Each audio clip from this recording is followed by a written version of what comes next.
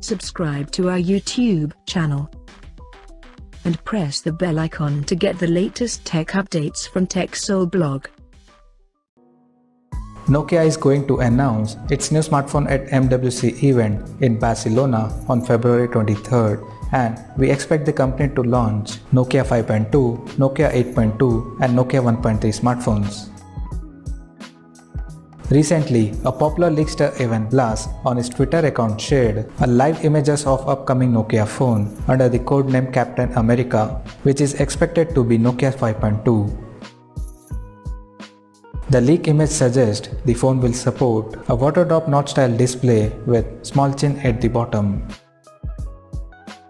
The rear panel of the phone will house a centrally aligned LED flash surrounded by quad camera setup inside a circular module.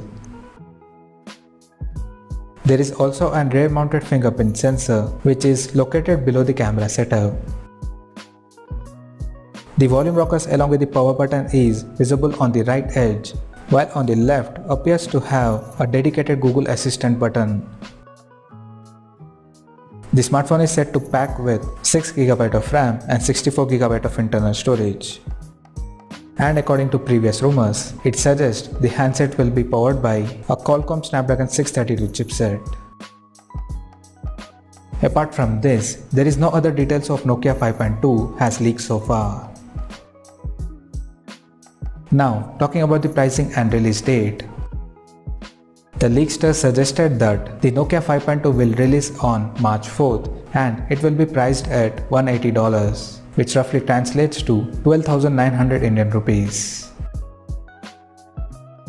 So as of now, that's all we know about the Nokia 5.2 and we'll come to know more detail about the phone in the coming days. Till then, stay tuned to TechSole Blog YouTube channel for more tech updates. Thanks for watching. We'll see you guys in our next video.